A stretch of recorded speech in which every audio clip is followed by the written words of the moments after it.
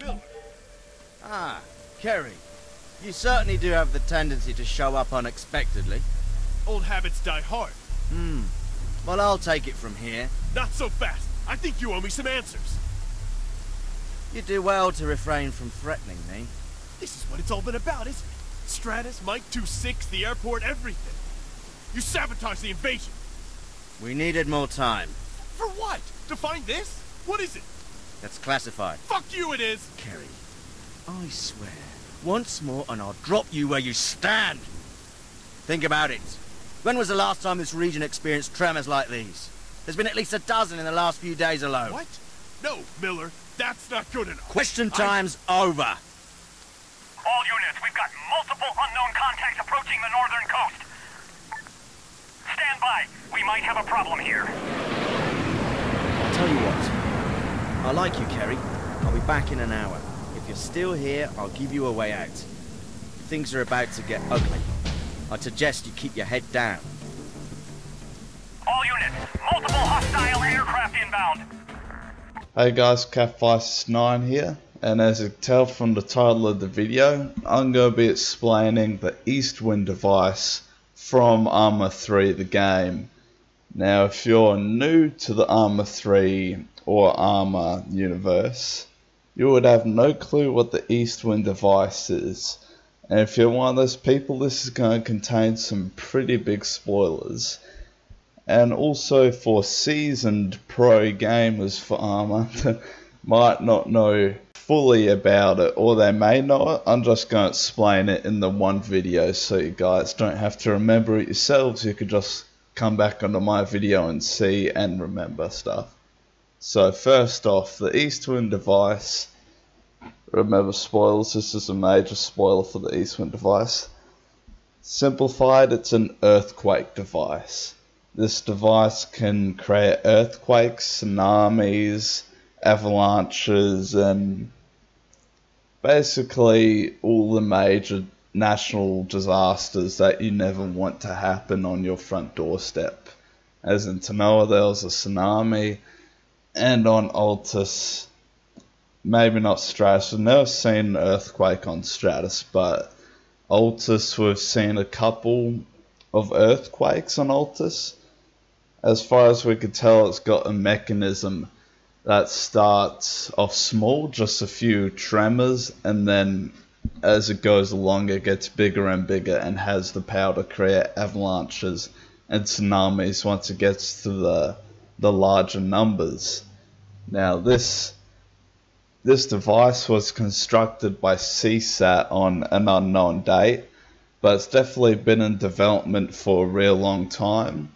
Before it was constructed before the what's it called campaign, the boot camp campaign. It was made before that because we've seen earthquakes happen on Altis at that time. Now, assuming that's been in development for a few years and they're just testing it out on Altis and maybe Stratis, we don't know about Stratis. The country who made the Eastwind device within CSAT is unknown, but I bet it's China.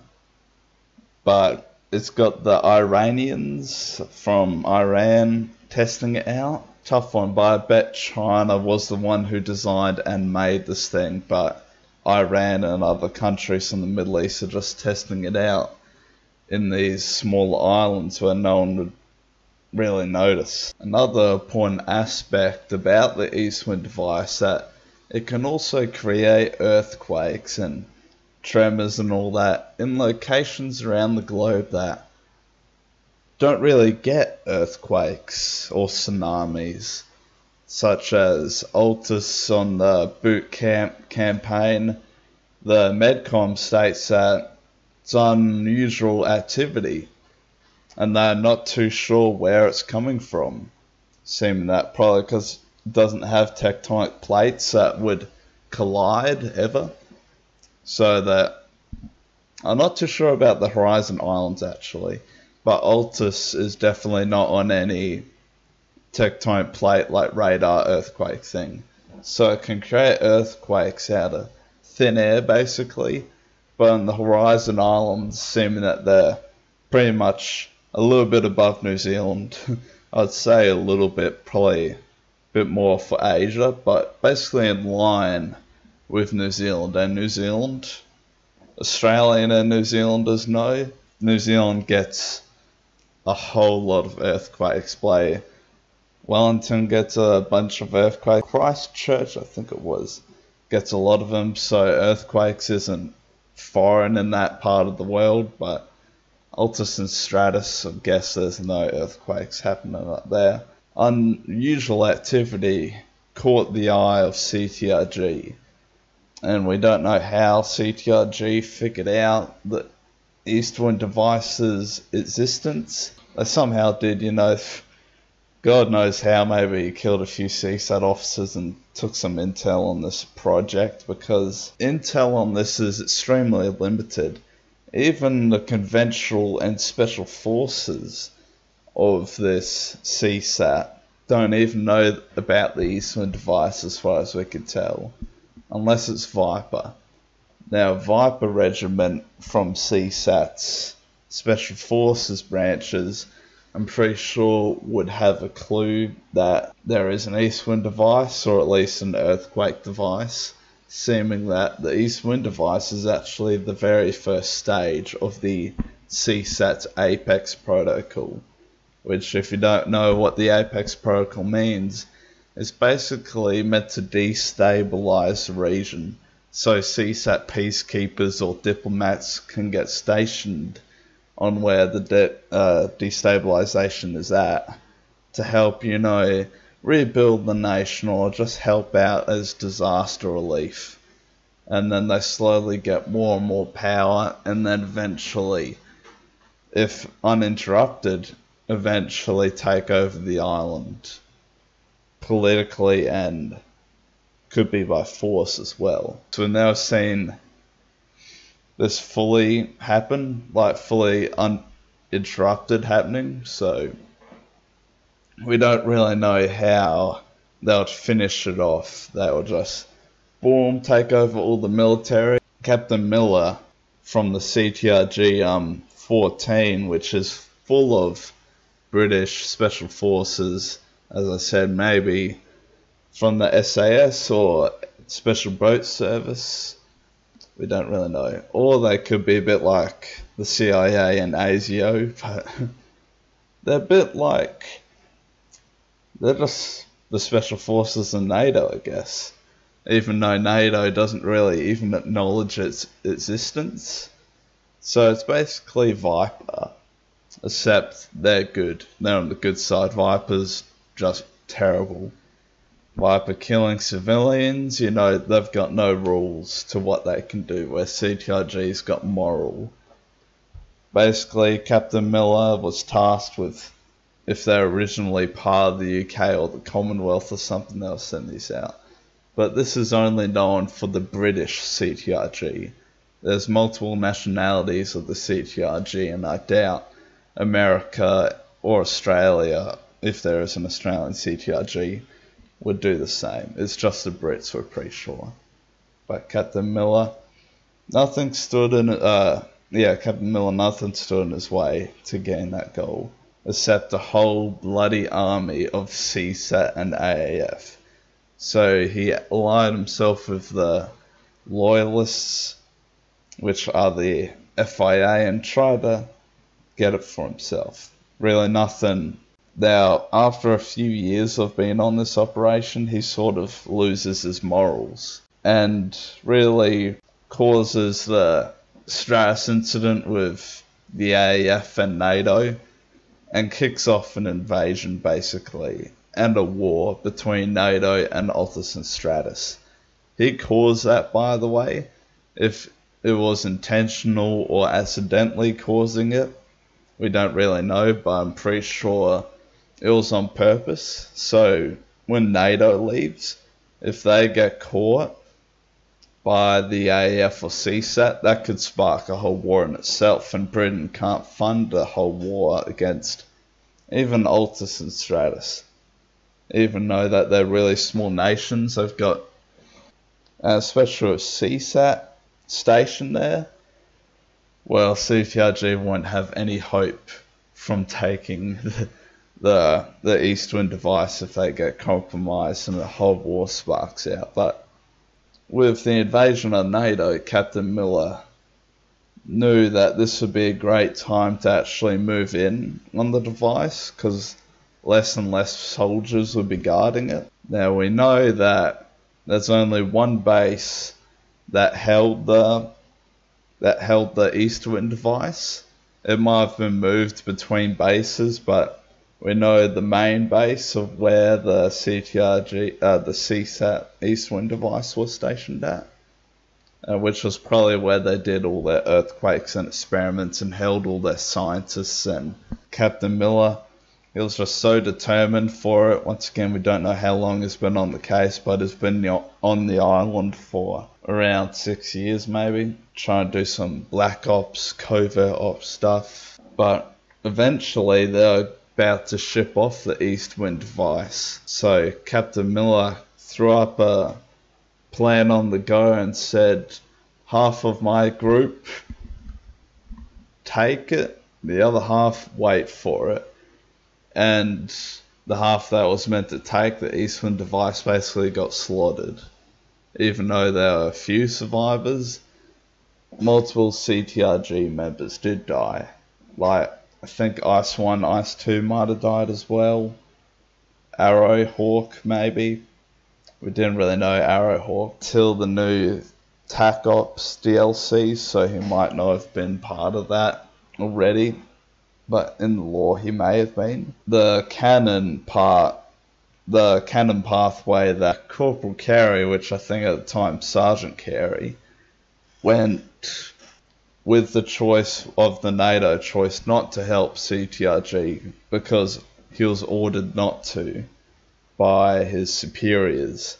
So he didn't listen to Captain Miller and basically the Eastwind device was shipped off and then traveled a few months later, or a few days, I should say, later, to the Horizon Islands where it was needed to construct some Apex protocol. We're not too sure if there's more than one Eastwind device. Surprise me if there are multiple, seeming that if you did go of the non-canon ending with the Captain Miller and all that, you would see that there's one Eastwind device on a truck, and there would be multiple Eastwind devices laying that laying the ground around the entrance of that dome. It's hard to say how many there are, there are, but if there's lots of them, I doubt that they're in beta testing anymore for it. I reckon it would be in float, uh, full blow play being used everywhere across the world. But knowing that there could be multiple Eastwind devices makes it even more dangerous. Now, at the end of the Apex Protocol campaign, Captain Miller actually finally gets his Eastwind device.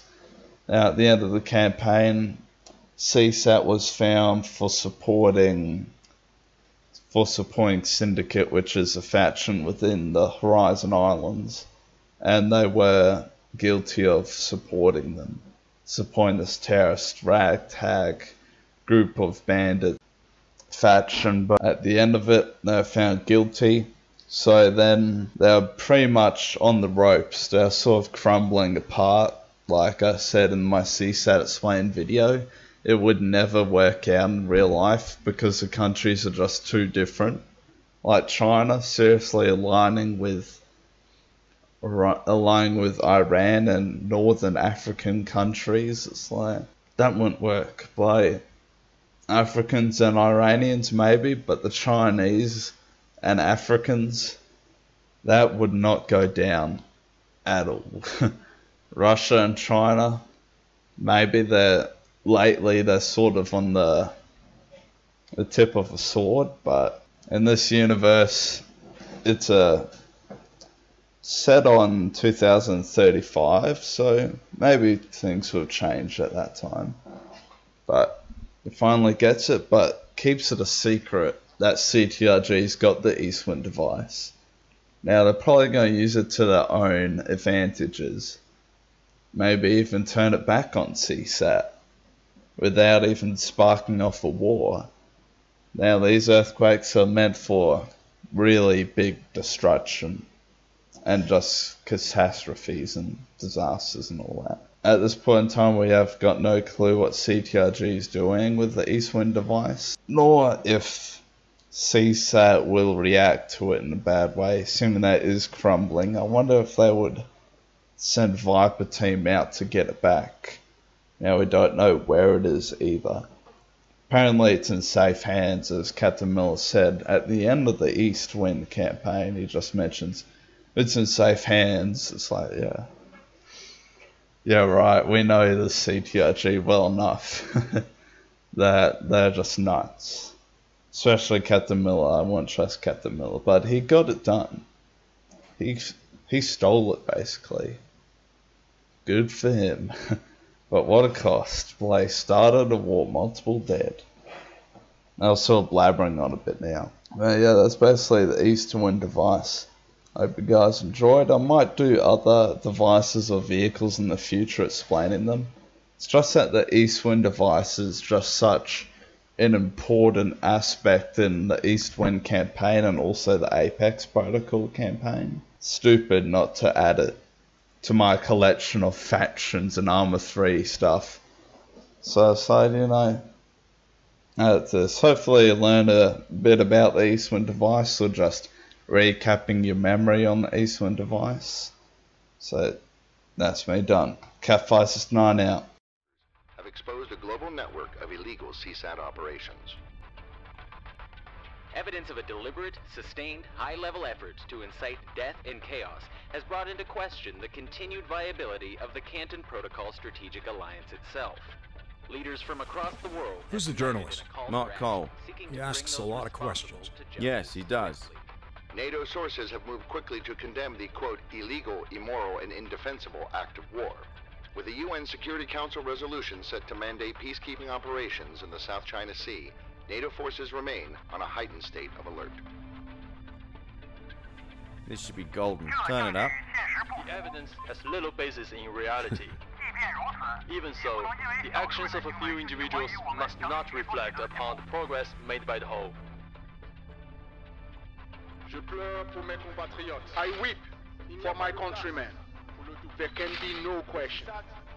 CSAT have engineered chaos and destruction on a massive scale. En fournissant de l'équipement militaire. By supplying dangerous criminals with military weapons, they have sought to murder the people of the Horizon Islands. Leur heure est à... Everyone here? Uh, yes, all present. Look, before we move on to the brief, I can't help but notice just one thing here, gents. What's that? There's been no mention of this East Wind device. Zero. Oh, that. Yes. No, we saw no reason to complicate matters further. It's in safe hands now.